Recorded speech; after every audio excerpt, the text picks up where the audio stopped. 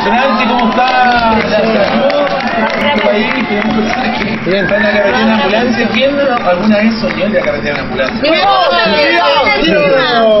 ¿Soñó alguna vez en la carretera con una ambulancia? No, no, pero yo quiero, yo quiero hacer hincapié en una cosa. Es increíble como un baño público, un baño que necesita higiene, no tiene confort, no tiene tapa del water, no tiene ni, a- ni agua para la llave, ¿cachai? Agua para tomar.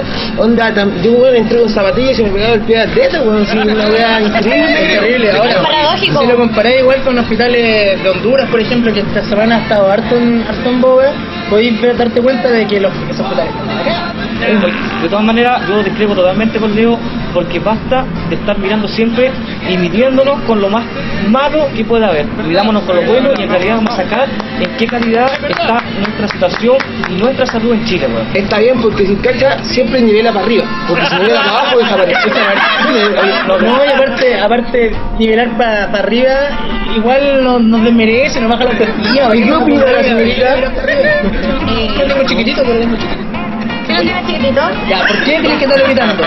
No, eh, ¿Me lo viste? es una lástima, es ¿No una lástima. eh, pero- ¿Sí tengo una lástima? Es una lástima, sí. Ahora conversemos. Mentira, mentira. Ya, ya, ya. Es una lástima porque, y es por eso como, como decía Sergi, porque eh, estamos, eh, estamos hablando de un hospital y donde tiene que ser todo muy salubre y es bastante insalubre, entonces Sí, como... donde se supone que la gente, donde la gente se va a sanar y parece que termina más enfermo.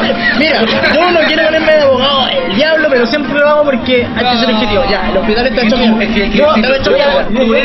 Pero, pero además, lo- los paramédicos jamás se mostró, o sea, jam- no, no sabemos si estaban tomando efectivamente un copete, un ron, una piscola. No se sabe porque no se ve, se ve que estaban tomando algo. Están compartiendo una bebida. estamos. Estaban tomando su jugo. Ahora están carreteando, están carreteando. estado o hayan estado tomando la, está haber Yo único la, que la ambulancia.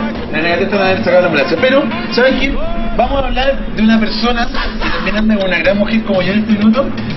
Se llama Marco Enrique Ominami y está haciendo rumor en el y están haciendo a través de todo el país. Y tenemos a Leito Preto con Marco Estuve Enrique. con Marco Enrique Ominami, eh, intentamos sacarle algunas palabras, mejor vea la nota. Ah, y además estuve con este chiquillo, Pato Navia. El humilde. El humilde Pato Navia. Vamos a ver, vamos a ver esa nota. Si quieres ver a Marco Enrique evadiendo preguntas comprometedoras, haz clic aquí. Pero si el meo te tiene chato, sigue viendo el programa haciendo clic acá.